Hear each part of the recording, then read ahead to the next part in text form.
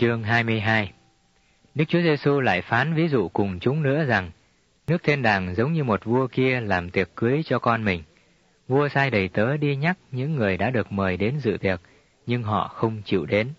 Vua lại sai đầy tớ khác mà dặn rằng, hãy nói với người được mời như vậy. Này, ta đã sửa soạn tiệc rồi, bò và thú béo đã giết xong, mọi việc đã sẵn cả, hãy đến mà dự tiệc cưới. Nhưng họ không đếm xỉa đến, cứ việc đi đường mình, kẻ này đi ra ruộng, kẻ kia đi buôn bán, còn những kẻ khác bắt đầy tớ của vua, mắng chửi và giết đi.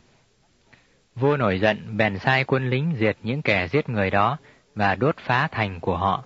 Đoạn vua phán cùng đầy tớ mình rằng, tiệc cưới đã dọn xong rồi, song những người được mời không xứng dự tiệc đó. Vậy, các ngươi hãy đi khắp các ngã tư, hễ gặp người nào thì mời cả vào dự tiệc. Đầy tớ đi khắp các đường cái, nhóm lại hết thảy những người họ gặp, bất luận giữ lành đến nỗi trong phòng đầy những người dự tiệc. Vua vào xem khách dự tiệc, chợt thấy một người không mặc áo lễ, thì phán cùng người rằng, hỡi bạn, sao ngươi vào đây mà không mặc áo lễ? Người đó làm thinh, vua bèn truyền cho đầy tớ rằng, hãy trói tay trơn nó lại và quăng ra ngoài nơi tối tăm, là nơi sẽ có khóc lóc và nghiến răng, bởi vì có nhiều kẻ được gọi mà ít người được chọn. Bây giờ những người Pharisee đi ra bàn luận với nhau để kiếm cách bắt lỗi Đức Chúa Giêsu về lời nói. Họ sai môn đồ mình với đảng vua Herod đến thưa cùng ngài rằng: "Lạy thầy, chúng tôi biết thầy là thật và theo cách thật mà dạy đạo của Đức Chúa Trời, không tư vị ai, vì thầy không xem bề ngoài của người ta. Vậy, xin thầy nói cho chúng tôi, thầy nghĩ thế nào, có nên nộp thuế cho Caesar hay không?" Đức Chúa Giêsu biết ý xấu của họ, bèn đáp rằng: "Hỡi kẻ giả hình, sao các ngươi thử ta? Hãy đưa cho ta xem đồng tiền nộp thuế." Họ đưa cho ngài một đơn yê. Ngài bèn phán rằng: "Hình và hiệu này của ai?" Họ trả lời rằng: "Của Caesar."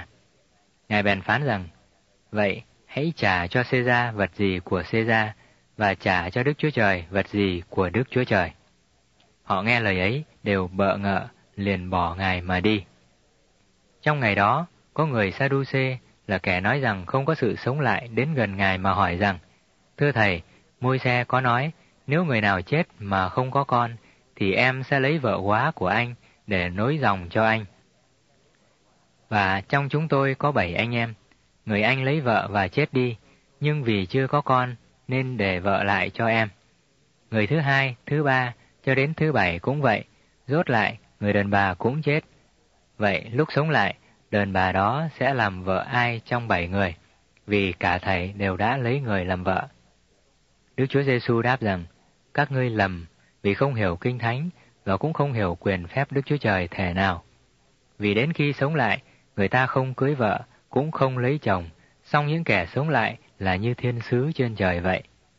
Các ngươi há không đọc lời Đức Chúa Trời phán về sự sống lại của kẻ chết rằng, ta là Đức Chúa Trời của Abraham, Đức Chúa Trời của Isaac, Đức Chúa Trời của Jacob hay sao? Đức Chúa Trời không phải là Chúa của kẻ chết, nhưng của kẻ sống.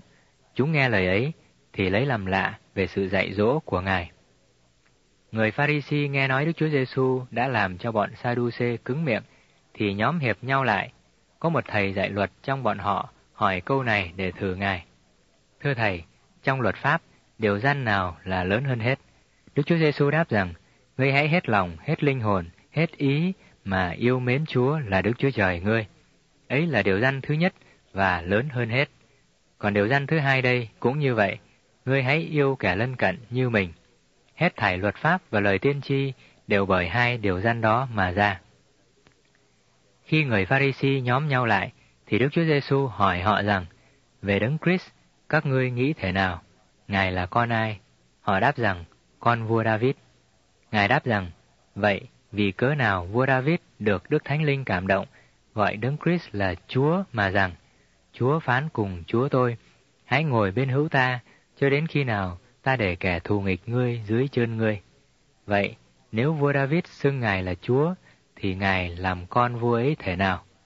Không ai thưa lại được một lời, và từ ngày đó, chẳng ai dám hỏi Ngài nữa.